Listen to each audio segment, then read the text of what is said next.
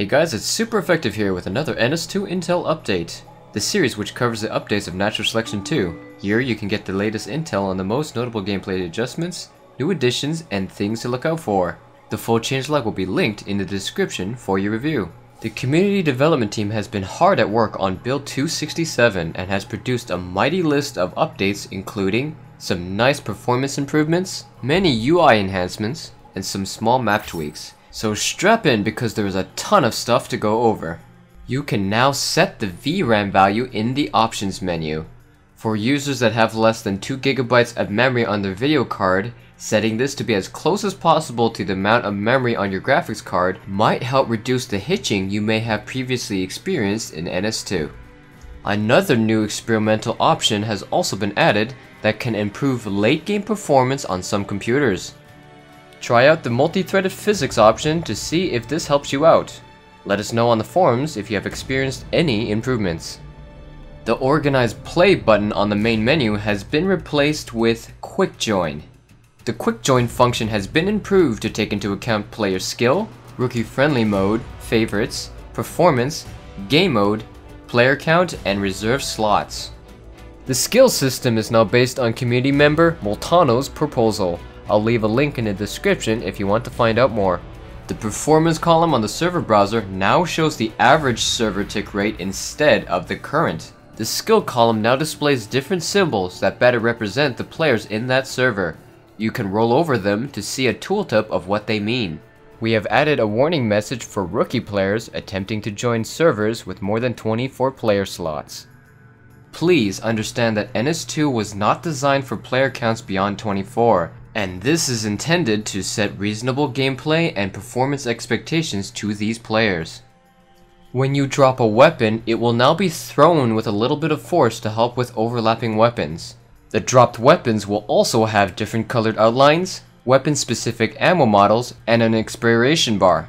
Mines will now show a blue or yellow outline to spectators depending on if it has been parasited. The grenade launcher will now use its own icon in your inventory and buy menu.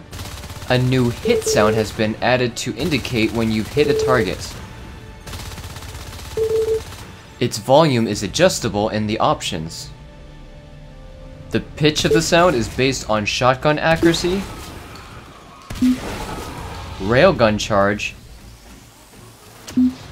and the number of players hit by a xenocide. The sound itself can be customized by mods. The whip's AI has been improved to attack their targets more reliably. The MACs will now avoid the face of a player when welding them or when following them. MACs and ARCs will now exit from the inside of the robotics factory.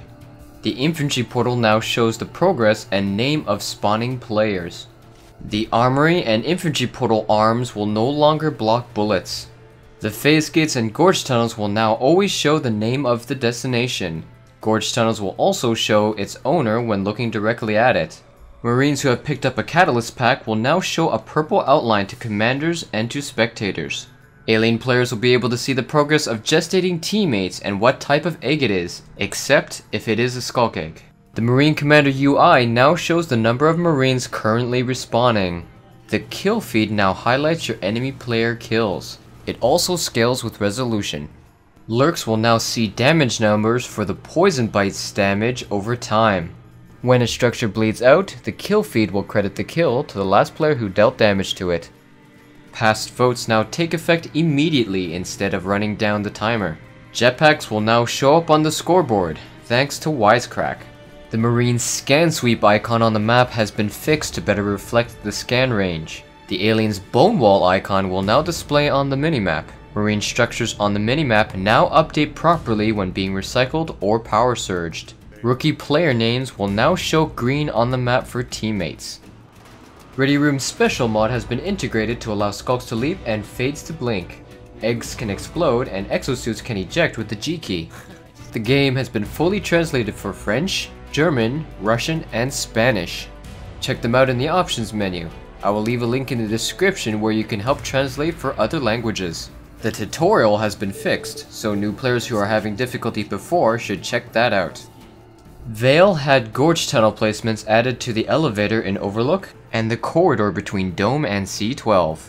Kodiak now has a bridge cover in Central Biosphere, and noticeable changes near Upper Rapids. And finally, Tram had gorge tunnel placements added to the elevator in Elevator Transfer. That about wraps it up for this Intel update. Please leave any feedback or bug reports on the official NS2 forums. The community development team would love to hear from you.